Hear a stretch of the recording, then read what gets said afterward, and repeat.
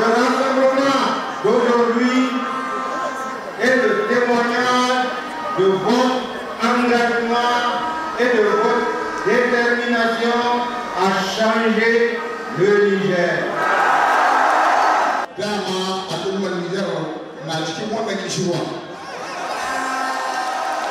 Aujourd'hui, nous sommes sortis pour venir exprimer donc notre soutien indéfectible à la junte militaire, pour démontrer que nous sommes avec le CNSP. Le Niger en a tellement souffert.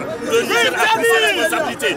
Vous avez remarqué, ce ne sont pas seulement les militaires qui ont pris le pouvoir, mais c'est le peuple qui a pris le pouvoir.